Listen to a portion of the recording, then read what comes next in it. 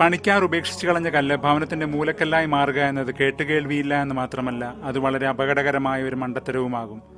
ലോകവ്യവസ്ഥകളെയും ധാരണകളെയും തകിടം മറിക്കുന്ന ഒരു പ്രത്യേക വൈഭവം ദൈവത്തിനുള്ളതുകൊണ്ട് തന്റെ ഭവനം പണിതുയർത്താൻ അവൻ അത്തരമൊരു മൂലക്കല്ല് തന്നെ തിരഞ്ഞെടുത്തു. അതിന്റെ പുറകെ അടിസ്ഥാനമായി പാകിയ എല്ലാ കല്ലുകളും ഒന്നുപോലും മികച്ചതായിരുന്നില്ല.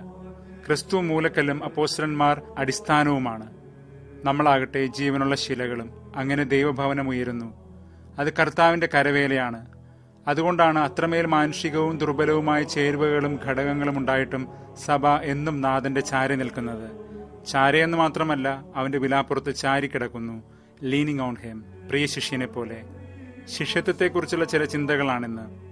അന്ന് പുരോഹിത പ്രമുഖരുടെ ഇടയിൽ നിന്ന് ആലില പോലെ വിറച്ച പത്രോസ് ഇന്ന് സധൈര്യം സാക്ഷ്യം നൽകുകയാണ്.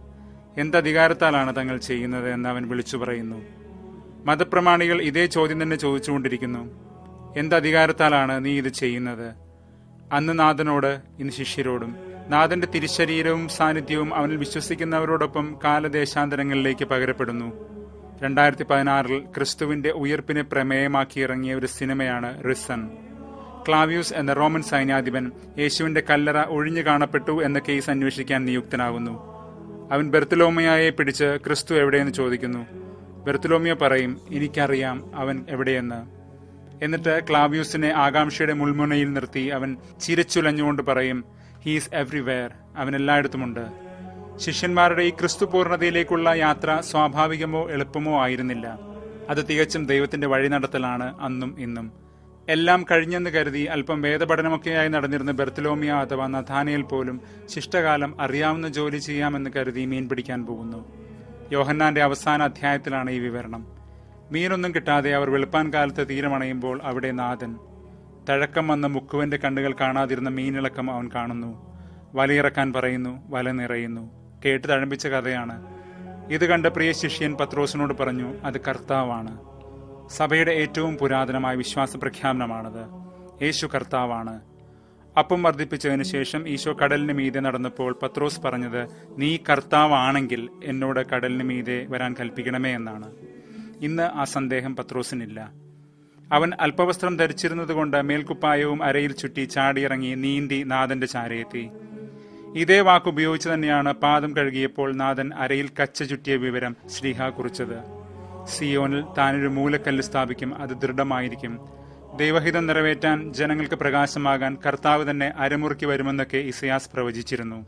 ദൈവവേലയുടെ ഈ നിശ്ചയദാർഢ്യത്തിന്റെ കച്ചകെട്ട് ഓരോ ക്രിസ്തുശിഷ്യനും ഏറ്റെടുക്കുകയാണ്. വീണ്ടും പത്രോസിനെ അരമുറുക്കി അവൻ കൊലക്കളത്തിലേക്ക് തള്ളിയെറിയപ്പെടുമെന്നൊക്കെ നാഥൻ പ്രവചിക്കുന്നുണ്ട്. കച്ചകെട്ടിയിറങ്ങുന്ന വിശ്വാസവീരന്മാർക്ക് പിന്നെ തിരിഞ്ഞു നോട്ടമോ തിരിച്ചുപോക്കോ ഇല്ലല്ലോ.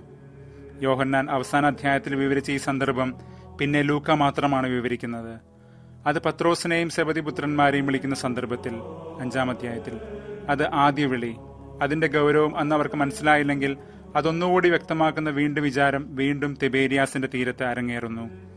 ലൂക്ക വിവരിക്കുമ്പോൾ ഈശോ പ്രസംഗിക്കാൻ സ്ഥലം കിട്ടാഞ്ഞിട്ട് പത്രോസിന്റെ വഞ്ചിയിൽ കയറിയിരുന്നതാണ്. അവർ മീൻ കിട്ടാതെ ആകെ കുഴഞ്ഞും മടുത്തും നാണം കെട്ടി നിൽക്കുന്നു. അപ്പോഴാണ് കടലിന്റെ ഒരു അളവും തിട്ടവുമില്ലാത്തൊരു തച്ചൻ പറയുന്നത് അവിടെ ആഴത്തിൽ വലയിടുക എന്ന്.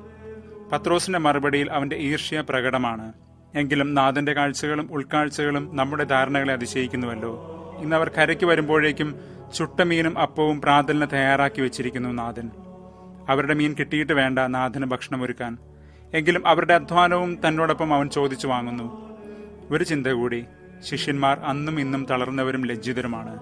എങ്കിലും നാഥൻ വിളിച്ചപ്പോൾ അവർ ആദാമിനെ പോലെ ഓടി ഒളിച്ചില്ല. കനിയണമേ ഞാൻ പാപിയാണ് എന്നിൽ നിന്ന് അകന്നു പോകണമേ എന്നൊക്കെ പറയുമ്പോഴും പത്രോസ് നാഥന്റെ കൈ ചേർത്ത് പിടിച്ച് മുട്ടിന്മേൽ നിൽക്കുകയായിരുന്നു. അതുകൊണ്ടാണ് സ്വർഗീയ ജെറുസലേമിൽ അവരുടെ പേരുകൾ നാഥൻ കല്ലിൽ തന്നെ കൊത്തിവെച്ചത്.